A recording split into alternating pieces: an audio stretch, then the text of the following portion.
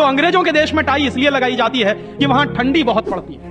कभी कभी तो यह हालत होती है कि छह सात महीने सूर्य भगवान के दर्शन नहीं होते। और वहाँ की जलवायु ऐसी है कि आज अगर सूर्य निकला तो ज़रूरी नहीं है कि कल भी निकलेगा, परसों भी निकलेगा, नरसों भी निकलेगा। भारत में ऐसा नहीं है। आज अगर निकला है तो कल भी निकलेगा, परसों भी निकलेगा, तीन महीने बाद भी निकलेगा। एक साल बाद भी निकलेगा। ऐसे ही निकलेगा। इंग्लैंड के लोग ये गारंटी से नहीं कह सकते। तो वहाँ ठंडी बहुत पड़ती है, सर्दी बहुत पड़ती है। और जिन देशों में सर्दी बहुत पड़ती है, ठंडी बहुत पड़ती है, वहाँ के लोगों को अक्सर जुकाम बहुत होता।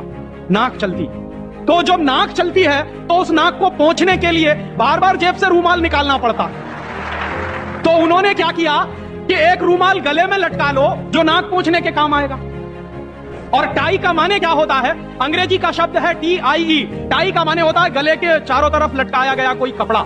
किस काम आता है वहाँ पर? नाक पहुँचने के। तो वहाँ तो इसलिए टाई लगाते हैं कि उनको ज़रूरत है उसकी। हम हमारे बच्चों को क्यों लटका रहे हैं अपने गले में टाई?